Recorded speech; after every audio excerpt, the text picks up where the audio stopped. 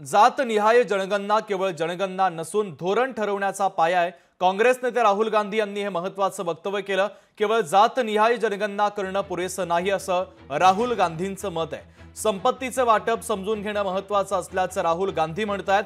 नव्वद टक्के लोक व्यवस्थेचा भाग नाहीत असं राहुल गांधी यांनी महत्वाचं आणि मोठं विधान केलेलं आहे. हमारे लिए ये सिर्फ़ सेंसस नहीं है। हमारे लिए ये पॉलिसी मेकिंग का फाउंडेशन है। मतलब नींव है। और हम सिर्फ़ जाति जनगणना की बात नहीं कर रहे मैं यहाँ क्लियरली कहना चाहता हूँ। जाति जनगणना से सिर्फ़ आबादी पता लगी है। क्योंकि भागीदारी से पहले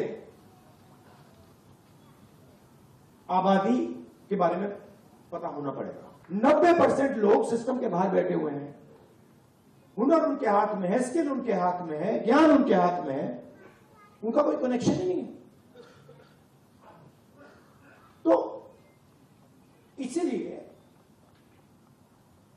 हमने जाति जनगणना की बात उठाई।